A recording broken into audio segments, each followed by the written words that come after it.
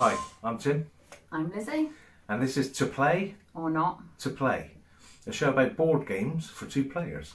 whose tastes may differ.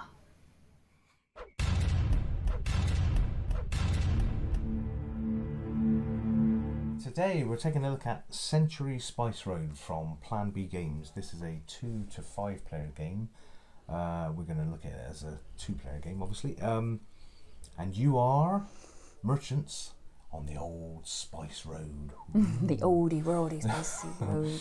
They rely heavily on this theme, so we'll come to that later on. um, so the idea with this game is that it's a, it's a hand management game uh, where you're trying to achieve, achieve um, trading uh, victories, so you can claim victory points. You can buy, basically, you sell your uh, spices to buy victory points. So you lay out a set of scorecards. The orange cards are a set of scorecards, and you have to buy those with a certain sequence of, of spices or cube colours.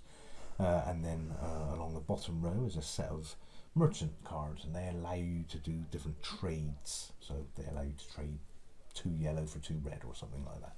And you buy these merchant cards into your hand, and you try and upgrade your hand as you go, so you can upgrade your spices and then buy victory points. The first person to get six of the victory point cards wins the game. Simple.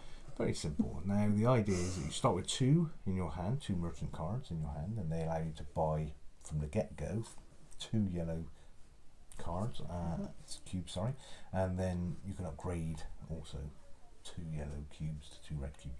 Quick pop quiz: What are the uh, cubes?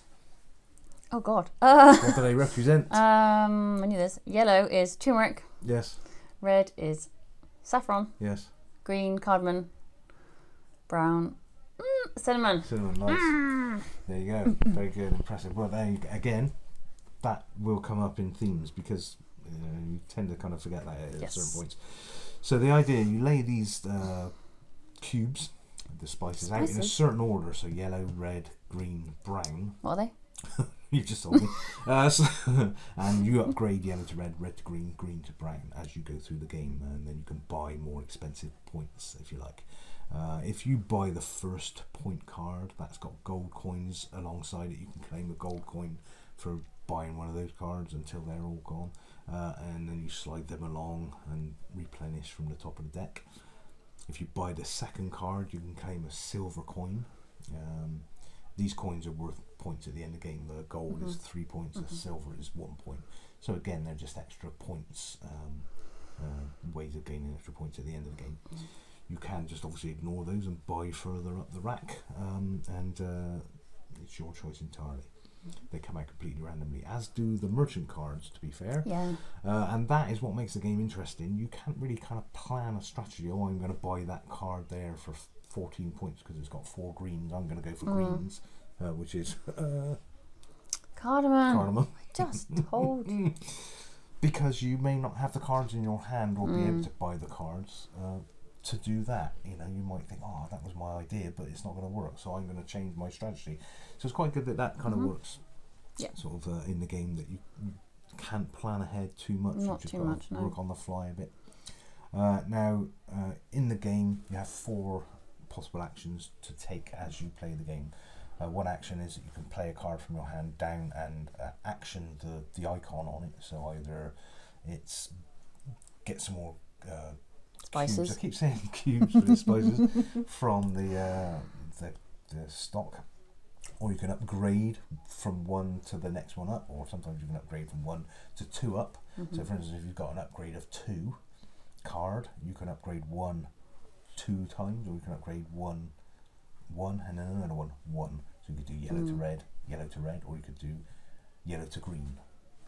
Um, and the idea is that you build your you've got this little caravan card down in front of you which is your caravan of, of camels and so on and your set collection goes in there your cubes spices and when you've got 10 you can't go above that but that's you know a very rare thing and if you go above Yeah. 10 you just have to put them back in stock so you basically buy and sell these uh, spices to buy victory points Yeah. uh, and yeah, so one of the one of the goes you put down, get some cubes, upgrade. You can rest Yeah. where you can take all your cards that you've played down back up. That's quite a good um, thing to do. I. Nice, yeah. We nice used it quite a lot mechanic. when we Yeah, played did, it. Yeah, yeah, yeah. Rested quite a lot. Yeah, because when you play your card down, it doesn't go away. It's obviously still in your hand, but it's played. So uh, as you get your hand down on the deck, if you've not got anything to play with in your hand, you can rest and pick it, pick up. That's a go. Uh, and the other go is to buy victory points. Mm. Uh, so you s- trade in your cubes, you sell your cubes to get victory points. Um, so that's the four kind of things that you do on your go. Uh, very quick. I'm going to do this. Bang. You're Yeah, that, turns are bang. really quick. So it goes back and forth really quick. Almost like we weren't talking like that. Yeah, yeah. You go that. And, Okay. and you said that you can kind of you can see what the other person's playing. You can. I didn't really pay attention to what you were doing. I was concentrating on my own. But see the other whereas you person's tend to look at mine. Well, I, you think I do, but I don't. well, You on, on the do. odd occasion I Get do, but. I'm so busy kind of concentrating, and it is so tricky that Mm. you can't necessarily go for what you're aiming for card-wise, point, you know, for Yeah, points. yeah. That you do have to kind of keep your eye on what's going on Mhm. for yourself so much it's hard to kind of. Because we could be going for the same card, couldn't we? You same could, yeah, points and you card. might think, oh, I'm going to have to go in quick before Mm. she nicks it. Um, but yeah, I, I I didn't do It's a- that. It's a good, uh, it's a good technique if you can. There's so much going on, Mhm. but it's not complicated. It's very quick, very easy. Um, Well, from from what you've just said, if I hadn't played it, I'd be, oh, really? What? Doesn't make any sense. What? Cards, It is- spices, what? it's hard to explain. But as soon as we started playing it, I was like, oh, okay, yeah, it's really simple. That's fine. It's simple, well, not simple to play, but you need tactics you need and to think about it quite a bit as you But go. it's simple to pick up and Yeah. follow what, what you're doing. Very quick and easy Yeah. to figure out what's going on. Yeah, I was, I was like really surprised by how simple it was to pick up, Mm. considering the rules and the gameplay. Yeah, yeah. So you liked it because of that, really, didn't you? It's Yes, it was a it was a happy surprise. yeah, after the explanation. After the I'm not playing that. I'm not playing. That. Sounds ridiculous. um, so yeah, works really well uh, and very easy to play, very quick. Uh, plays in Mm. about thirty to forty minutes, which is what the box says. So hmm f- you know, fairly accurate there. Um, theme. Theme. now, let's chat about theme. I mean, this is Theme. obviously yeah, this is obviously sold quite heavily on the theme. Ooh, Century Spice Road. You're back in the old days, trading spices. I mean, we very rarely notice that. The, the artwork on the card is fantastic. Yeah, really the- nice. The production value, you know, the quality of the components. hmm I mean, it's got metal coins.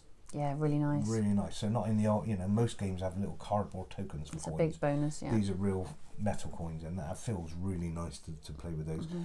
The the uh, cubes come in. Uh, the cubes are lovely, really well made, and they Mm. come in little bowls in the in the Almost like little box. baskets, aren't little they? baskets. Yeah, uh, and it all lays out really well, and it puts Mm. away. There's a little insert in the box. nice. It's fantastic, really nice. But that theme, much as it is, is, is lovely, and it's you know you do kind of feel it to a certain extent. Nah, it's pasted on completely. You what, ten seconds into the game, you're calling them red and yellow and green, and We did say actually halfway through the game, let's stop calling them yellow and red and green and brown. Let's just call them yeah, let's get into the game. Turmeric, but We did. we didn't. Ten seconds later, back to red. And I'm just going to swap two yellow for a red. So yeah, I mean that, that theme is. I mean it is lovely and it works. Mm. Uh, It's very pretty colours, like the purples and the reds and things. Yeah, it's very nice. It's, uh, but but it's not at all. I didn't feel like I was in a spice market No. selling my wares. no, not at all. I mean, it's, it's like a it's like a card game that you're betting on to try and get Mm. better odds to, to get better points and so on. So And it's, a, it's, a, it's a card game with based on the colours, yeah, really. I Yeah. think, but fun. so yeah, fun, nice, lovely, and all that malarkey, but theme. Yeah. Okay, so I guess next step is scoring.